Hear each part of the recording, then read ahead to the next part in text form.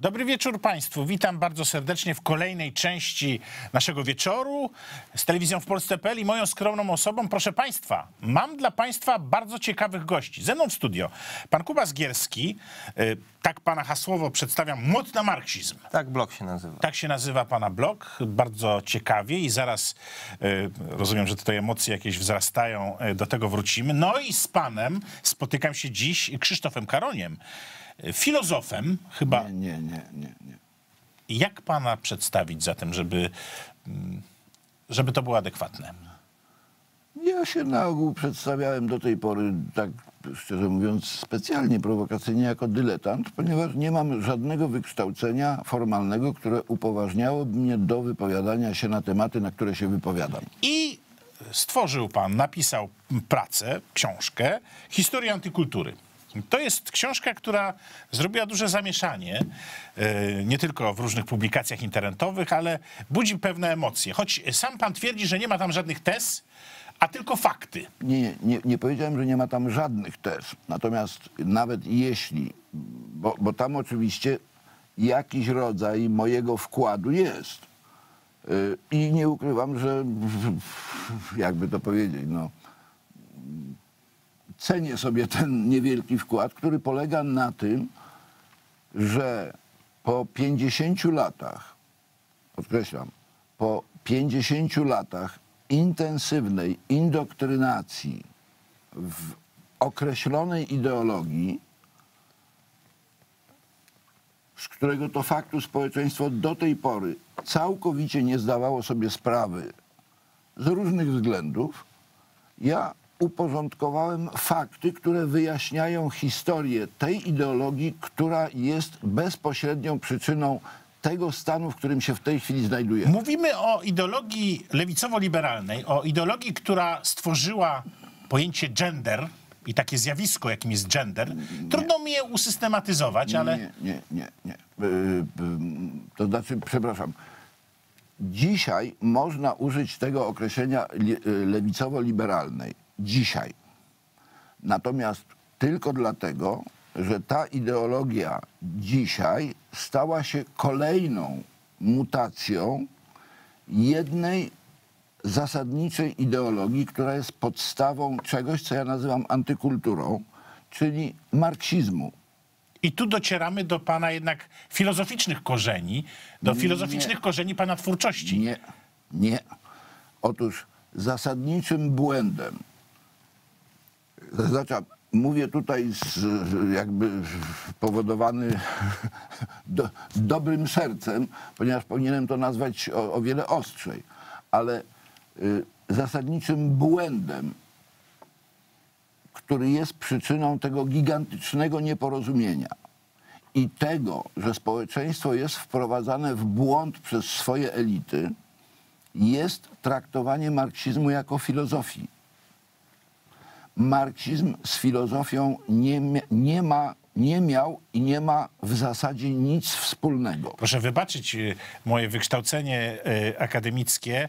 No, każe mi nazywać Marksa filozofem, choć rozumiem, że mogę popełniać pewien błąd, który pan y, w swojej publikacji No prostuje. właśnie tylko dlatego, że jak pan po powiedział, pańskie wykształcenie akademickie odebrał pan w czasach, kiedy ten, ten świat pojęć był już sformatowany przez kolejną wersję marksizmu, ponieważ historia, trzecia część tej książki, bo ona się składa z trzech zupełnie różnych, ale powiązanych ze sobą części, trzecia tej część tej książki opowiada ewo, y, historię ewolucji marksizmu od tego klasycznego marksizmu, ja nazywam go ekonomicznego, czyli tego, który powiedzmy stworzył Marks, a tak w zasadzie z bardzo dużym wkładem engelsowskim, poprzez kolejne wersje, czyli marksizm ten y,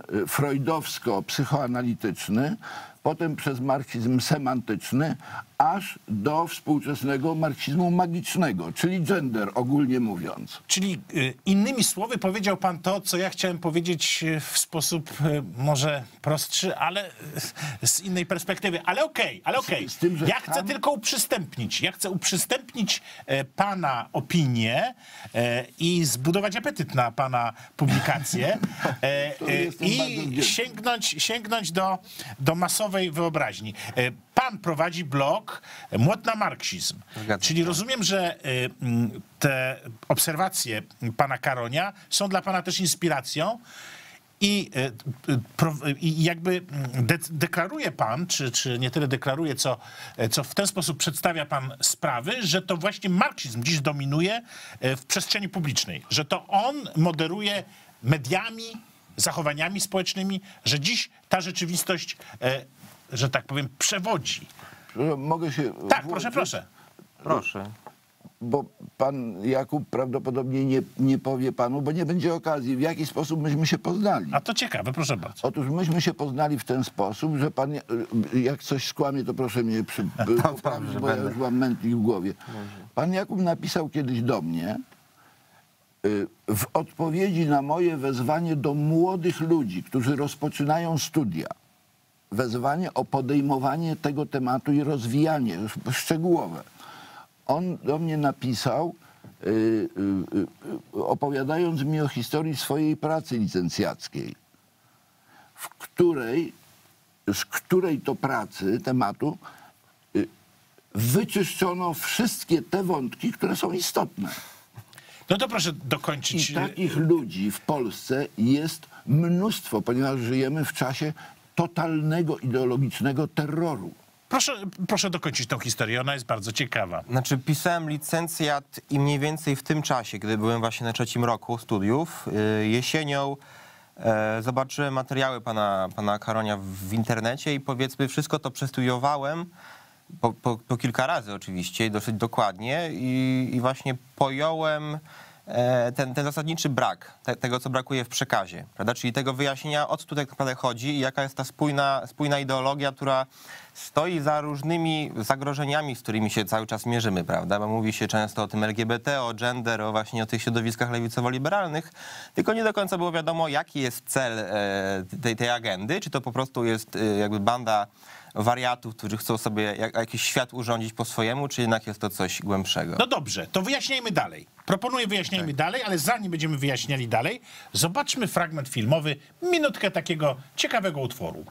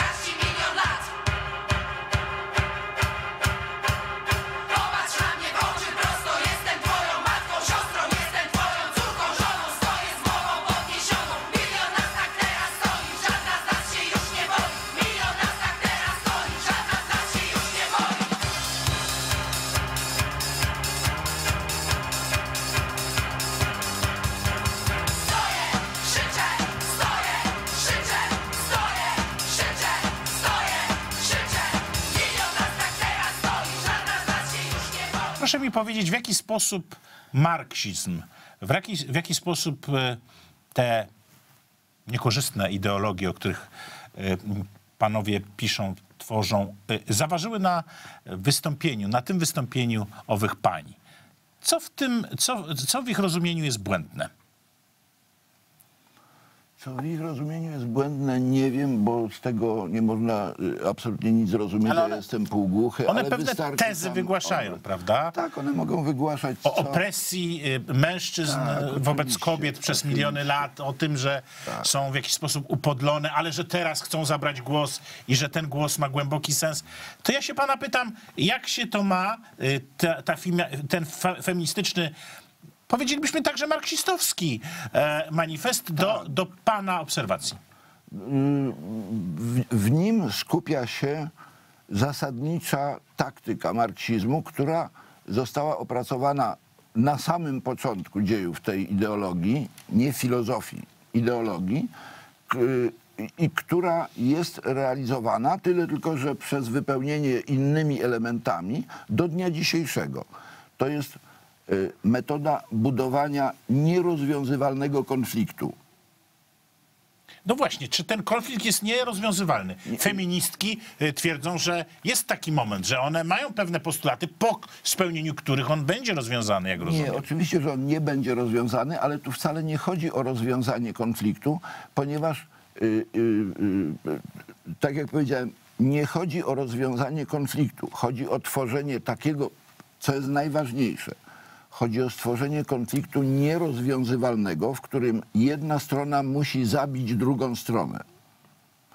I, I pierwszym takim przykładem był układ, w którym y, y, y, robotnik, ofiara, musi zabić swojego ciemiężyciela, kapitalistę, ponieważ między nimi istnieje konflikt, który wykracza poza ich własną relację, wynika z pewnego systemu, z rzeczywistości. Rzeczywistość kapitalistyczna jest tak skonstruowana, że w niej tkwi ten fundamentalny, nierozwiązywalny konflikt i jedynym rozwiązaniem konfliktu jest zabicie drugiej strony.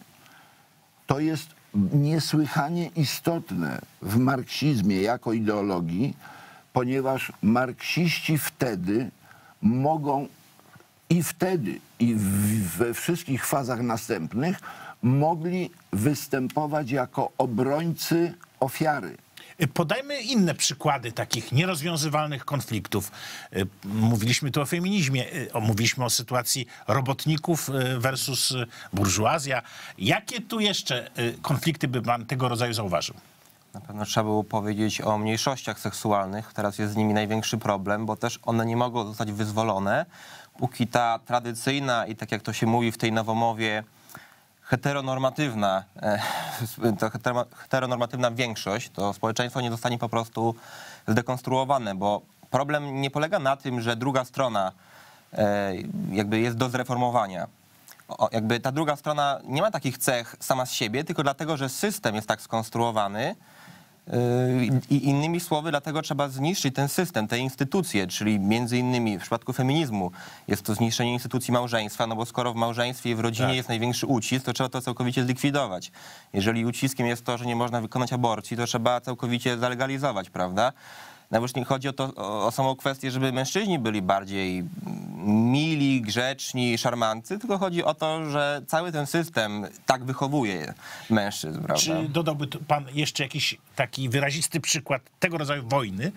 No, no, wo, y, y, absolutnym zwieńczeniem całej tej koncepcji jest stwierdzenie, zaznaczam, skądinąd bardzo trafnego, czy, czy, czy y, sformułowanie bardzo trafnego opisu rzeczywiście najgłębszego konfliktu, jaki w ogóle istnieje w przyrodzie pod tym względem, i ja zaznaczam, bo, bo bardzo często marksizm traktuje się jako jakiś... Jakąś, jakim konflikcie pan mówi? No konflikt płci. Fundamentalny konflikt życia staje się w pewnym momencie nierozwiązywalnym konfliktem, w którym jedna strona musi drugą stronę zniszczyć. Przy czym zaznaczam, bo, bo, i tutaj to, to, wy, to wymaga do, dopowiedzenia.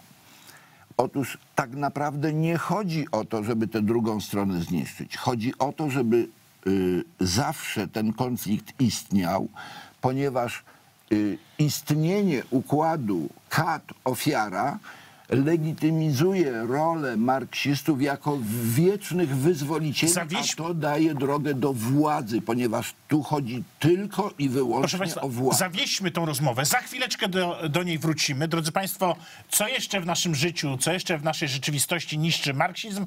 O tym będziemy rozmawiali za chwileczkę. Zostańcie z telewizją w Polsce.pl.